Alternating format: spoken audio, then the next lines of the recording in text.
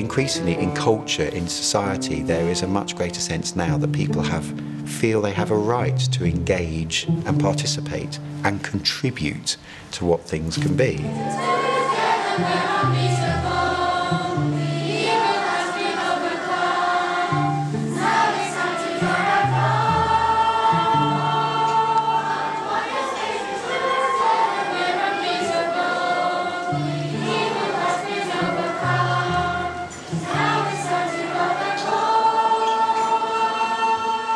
It's no longer enough just to have something that's put on a platform, be it on a concert stage or a, in a gallery, that people just come and look at or listen to passively. That is part of our offer.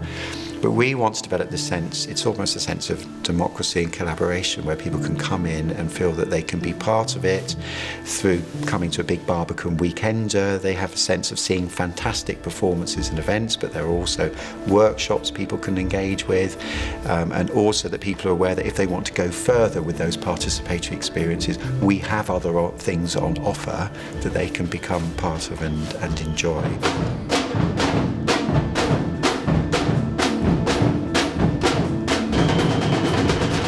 Before I started doing the projects, I hadn't really been introduced to the Barbican at all. I didn't know where it was. I, um, I would never come up here.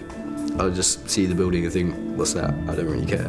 But then through these projects, I've seen the London Symphony Orchestra a few times in the Barbican Theatre and all that kind of stuff. Been seeing shows and there's a load of other things other than the project that the projects have led me to do. Because audiences demand more of the experience of being an audience as artists explore different avenues. Here, we're ready to react to that and respond to that and change in the way that artists make us change. You're building up a sustained and ongoing relationship with your audience, with people who participate in and engage with what we do.